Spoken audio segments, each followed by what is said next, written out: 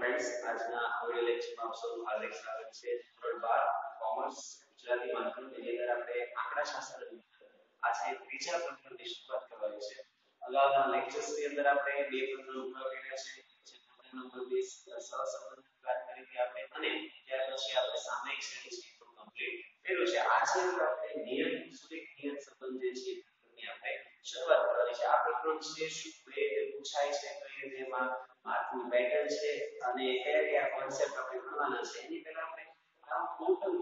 જે આપણે ખાસ સમજી લઈએ.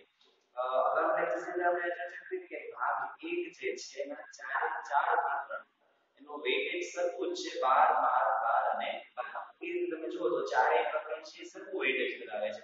પણ છતાં પણ આપણે ખાસ એ જોવાનું છે કે આ સેક્શનમાંથી કેટલા એટલે કે જે અલગ અલગ વિભાગો આવે છે, એમાંથી આ પ્રકરણમાંથી કયા પ્રશ્ન, કયા વિભાગમાં કેટલામાં પ્રશ્ન નંબર હોય છે? આ તમારા નોલેજ માટે છે બાકી વેઇટેજ ઓવરઓલ બધા જ પ્રકરણનું સરખું જ છે અહીંયા તમે જુઓ તો તમને વિભાગ વાઇઝ નો ગુણભાર આપેલું છે અને અત્યારે છે આપણે બોર્ડની પરીક્ષા માટે અહીં ચર્ચા કરી રહ્યા છીએ. ફર્સ્ટ ટર્મની વાત હોય તેમાં બની શકે કે એનો આ સેમ વેટેજ નહીં હોય, વધારે છે કારણ કે એમાં આપણા પ્રકરણ છે, પ્રમાણમાં ઓછા હોય છે. તો અહીં તમે જોઈ છો કે ટોટલ તમને પાંચ વિભાગ માટેનું બાયફર્કેશન આપેલું છે. વિભાગ 1 છે, એમાં એક પ્રશ્ન પૂછાય છે અને મોટાભાગે એ પ્રશ્ન નંબર કયો હોય છે? ત્રીજો પ્રશ્ન. એટલે એમસીક્યુ ની અંદર જે છે, તમારો ત્રીજો એમસીક્યુ જે હોય છે આ પ્રકરણમાંથી પૂછાતો હોય છે. એનો ગુણભાર છે એ ત્યાર પછી વિભાગ બી છે, એમાં પણ એક પ્રશ્ન પૂછાય છે મોટા ભાગે કેટલામો પ્રશ્ન હોય છે. તો કે 13મો પ્રશ્ન. આની ઉપર તમને એક આઈડિયા આવી જવો પડે કે પહેલો પ્રશ્ન છે હંમેશા પહેલા પ્રકરણમાંથી બીજો પ્રશ્ન છે, બીજા પ્રકરણમાંથી ત્રીજો પ્રશ્ન છે, ત્રીજા પ્રકરણમાંથી એ પેટર્ન પ્રમાણે અહીંયા છે એનો નંબર આવે છે. આગળ જતા થોડું ચેન્જ થશે, પણ જનરલી શરૂઆત આ રીતનું બનતું હોય છે. સ્પેશિયલી વિભાગ એ બી ની વાત કરીએ તો. એની અંદર ખાસ વિભાગ સી છે, એમાં કેટલો પ્રશ્ન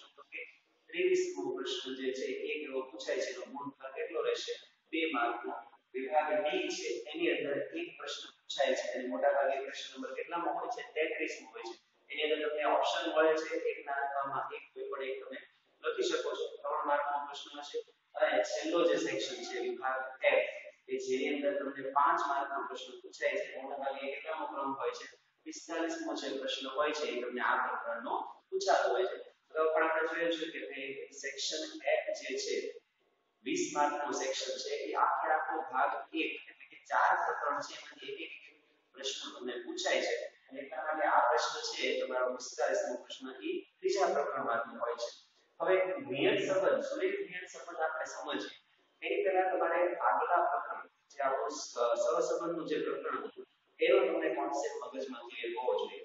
ત્યાં આપણે શું ચર્ચા કરી કે ભાઈ બે અલગ અલગ ચલ છે, તો એક ચલ જે છે સાપેક્ષ ચલ કહેવાય, એક છે નિરપેક્ષ ચલ કહેવાય. અને એક બીજો ચલ છે પહેલા ચલ ઉપર આધારિત હોય એને આપણે, અને બંનેની કિંમતોમાં જો ફેરફાર થાય, તો એની એક ચલની કિંમતમાં જો ફેરફાર થાય, તો તેની બીજા બીજા ચલની કિંમતમાં પણ અસર થતી હોય છે. એટલે ત્યાં કાર્ય કારણનો સંબંધ જે છે, અસ્તિત્વમાં આવતો અને એના કારણે નક્કી કરતા કે આ સંબંધ છે કેટલો ભાર છે? અને એના માટે આપણે એનો સહસંબંધ લાગે એટલે કે r નું મૂલ્ય શોધતા. બે સહસંબંધિત ચલ છે એની ઘનિષ્ઠતાનું માપ આપણે શોધવાનું તો બંને વચ્ચેનો ઘનિષ્ઠતાનું માપ એટલે કહેવાય. અને એના દ્વારા આપણે નક્કી કરતા કે કેવો સહસંબંધ છે? ધન છે, ઋણ છે, કે અભાવ છે, ગાઢ છે, કે આંશિક છે? આવા બધા કોન્સેપ્ટ આપણે બીજા પ્રકરણમાં મળી ગયા છે તો હવે આ પ્રકરણમાં આપણે શું નવું કરવાનું છે? કે આની અંદર આપણે બે સહસંબંધિત ચલ જે છે, એમાંથી કોઈ એક ચલની કિંમતને આધારે બીજા ચલનું તમારે શું કરવાનું છે? લઈએ તમને બે સહસંબંધિત ચલ આપ્યા છે, વેચાણ અને નફો. વેચાણ અને નફાના આંકડાઓ તમને આપ્યા છે. X અને y ચલ આપ્યા છે. તો આપણે સમજીએ કે નફાનો આધાર કોની હોય વેચાણ. તમને એસ્ટિમેટ કરવાનું કે કે ભાઈ સપોઝ હવે આવનારો આવનારા વર્ષ માટે આપણે એસ્ટિમેટ જે છે કરવાનું છે. તમને કીધું હોય કે અત્યારે આવનારા વર્ષમાં આપણે માની કે 1000 ટન માલ વેચાણ થશે. એની સામે નફાનું કેટલો અપમાન આપણે કરવાનો નફો જે છે કેટલો મળશે? અનુમાનિત કિંમત જે છે આપણે મેળવવાની રહેશે. તો એ નિયત સંબંધનો જે આપણો કોન્સેપ્ટ છે આપણે અહીંયા ભણવા, ભણવાનો છે. સૌપ્રથમ પહેલો જે અગત્યનો પ્રશ્ન આમાંથી પૂછાય છે કે નિયત સંબંધ આ જે શબ્દ છે સૌપ્રથમ કોને હોય તો એક મોટા ભાગે સેક્શન બી ની અંદર સાયન્સમાં હોય શકે. તો આમાં યાદ રાખવાનું છે સર ફ્રાન્સિસ ગોલ્ટન નામના જે વ્યક્તિ છે એમણે સૌપ્રથમ પોતાનું જે મનુષ્ય આનુવંશિક વારસાનું જે આપણો ટોપિક હતો કે જેની ઉપર અભ્યાસ કરતા હતા એ અભ્યાસ દરમિયાન એમણે આ શબ્દ જે છે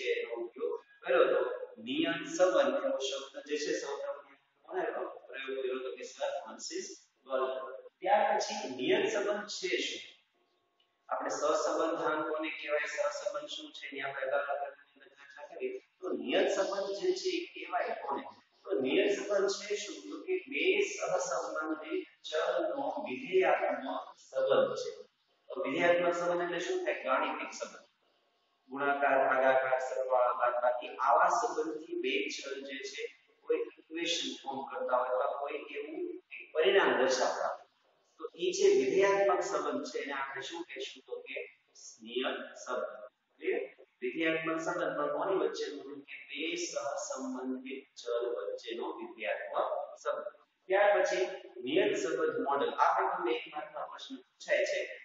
જે સહ નિયત સંબંધની જે વ્યાખ્યા હતી એની ઉપરથી તે મોડેલ સંબંધ મોડેલનો અર્થ આવે છે કે ભાઈ કાર્યકારણનો સંબંધ ધરાવતા બે ચલ વચ્ચેના સંબંધને દર્શાવતા આંકડાશાસ્ત્રીય મોડેલ એટલે કે આંકડાશાસ્ત્રીય મોડેલ જે છે, તો અહીંયા આપણે ભણવાનું છે એ મોડેલ જે છે, એને આપણે શું કહેવાનું છે, નિયત સંબંધ મોડેલ કે જે વિધેયાત્મક સંબંધ દર્શાવે છે. કોની વચ્ચેનો? કે કાર્યકારણનો સંબંધ દર્શાવતા બે સહસંબંધિત ચલ વચ્ચે હવે કાર્યકારણનો સંબંધ કહેવાય આપણે અગાઉ બીજા પ્રકરણનો અભ્યાસ કરેલો છે. બરોબર? એટલે આવા બે સહસંબંધિત ચલ કે જે કાર્યકારણનો સંબંધ દર્શાવે છે, એમની વચ્ચેનું આંકડાશાસ્ત્રીય મોડેલ એને આપણે શું કહેવાનું છે? નિયત સંબંધ મોડેલ અને તમને એક્ઝામમાં એક માર્કમાં પૂછાય છે કે ભાઈ સુરેખ નિયત સંબંધ મોડેલ કોને કહેવાય અથવા લખો એવું પૂછે તો એની માટે તમારે આ યાદ રાખવાનું છે અને આપણે આ જે નિયત સંબંધ મોડેલ છે, એને આધારે તમારે નિયત સંબંધ મેળવવાની છે પણ એ આપણે આગળના લેક્ચરની ચર્ચા કરવાની છે નિયત સંબંધ મોડેલ કેવું છે કે x u જેની અંદર x અને y જે છે આપણા બે ચલ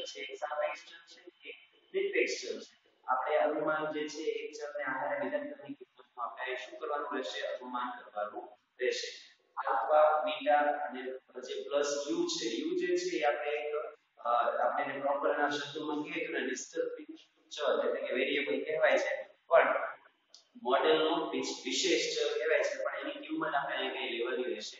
નહીં, કારણ કે એની અસર આ જે આપણું મોડેલ છે તે બધી જગ્યાએ થશે. ને એની કિંમત હંમેશા શૂન્ય આવશે. એટલે આપણે મોડેલમાં લખવાનું છે, પણ જ્યારે દાખલાઓ કરીએ ત્યારે આ u જે છે, એ આપણે કઈ જગ્યાએ લેવાનો છે. નહીં, પણ વિધેયાત્મક મોડેલ જેનું નિયત મોડેલ જે છે, એ તમને પૂછે એક વાર તમારે આ રીતે આખું લખવાનું રહેશે. ત્યાર પછીનો મેઇન મુદ્દો કે સુરેખ નિયત સંબંધ સુરેખ સુરેખ નિયત સંબંધ કોને કહેશું સુરેખ નિયત સંબંધ જે છે એની પ્રોપર વ્યાખ્યા એક માર્કની અંદર તમને પૂછાય છે કે બે સહસંબંધિત ચલો વચ્ચેનો ગાણિતિક કે વિધેયાત્મક સુરેખ સંબંધ કે જેના દ્વારા નિરપેક્ષ ચલની કોઈ આપેલ એટલે કે આપણે અગાઉ ખબર હોય એવી કિંમત માટે તેને અનુરૂપ સાપેક્ષ ચલની કિંમતનું અનુમાન થઈ શકે તેમ હોય તો તેને આપણે સુરેખ નિયત સંબંધ કહીએ છીએ. જો આની વ્યાખ્યા છે અગાઉ આપણે સમજાયેલું છે કે એક ચલની કિંમત ઉપરથી બીજા ચલનું આપણે શું કરવાનું છે? અનુમાન કરવાનું છે.